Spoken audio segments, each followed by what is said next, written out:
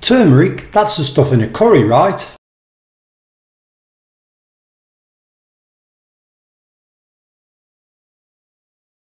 Yep, that's what it is, but it also has medicinal qualities too. In fact, it's so good that we even stock it in our clinics and I even take it and it has uh, great effects on me all around. So what does it do? Well, it's all about curcumin, which is the basic ingredient inside of turmeric which has the medicinal quality. So the main thing that we're interested in in physio is mainly the anti-inflammatory component, but it also has lots of other effects as well. And we're going to discuss all of this in this video with regard to some research that was done on curcumin or curcumin containing products, obviously turmeric therefore. So how good is turmeric or curcumin for recovery from exercise? So here is a systematic review which looked at curcumin containing products such as turmeric and they were looking at the various effects that are recovery from exercise. So they looked at exercise induced muscle damage, they looked at inflammatory markers. They looked at oxidative markers. The review was from 11 studies, which range from being good, very good, or even excellent. So what did they find? So the doses that were on the studies was between 150 milligrams up to 1,500 milligrams of curcumin.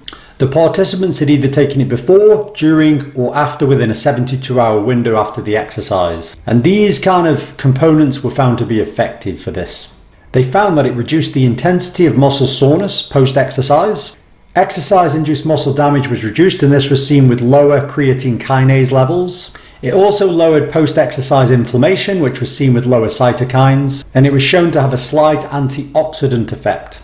So it looks for sport and recovery for performance reasons that curcumin containing products such as turmeric can be very useful for performance reasons in a sport. However, there is something to be said about this. We do know that if you're looking to just simply develop hypertrophy of muscle, building muscle, but not necessarily performance and strength and all of that side, then it may have a slight dampening effect on the muscle building quality. And the reason is some of these elements, the inflammatory markers, for example, um, are actually shown to trigger and stimulate muscle growth. And therefore, actually dampening these down may actually slow this down or diminish this effect. Obviously, by a small marginal effect, but nonetheless, still some effect.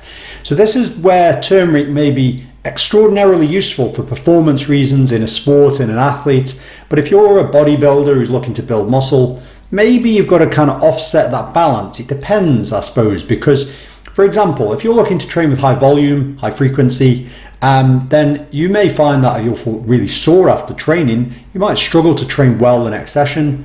Therefore, obviously, using something like turmeric or curcumin may actually reduce that muscle soreness and enable you to train really well the next session. And that really good training session far outweighs the tiny dampening effect of muscle stimulus. Um, so this may well be a bit of a non-entity and it may well still be beneficial even in people looking just to simply build muscle.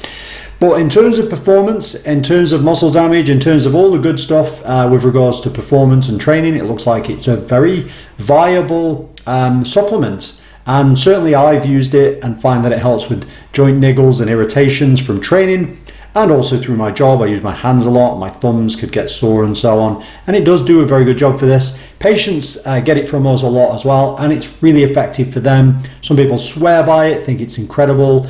And obviously, everyone is different, of course. It depends on how they respond to it, like anything, uh, how much inflammation base the problem they've got has, and therefore it will differ in each individual case. But it's certainly not that not not an expensive uh, supplement, and it's obviously completely natural and therefore very very viable. And we've done videos on this with other studies showing its effect as well in comparison to actually anti-inflammatory drugs. So we do know already there is some good evidence out there, and this is more evidence to support another angle uh, to do with turmeric. So anyway, that's it for this video, and I'll see you next time.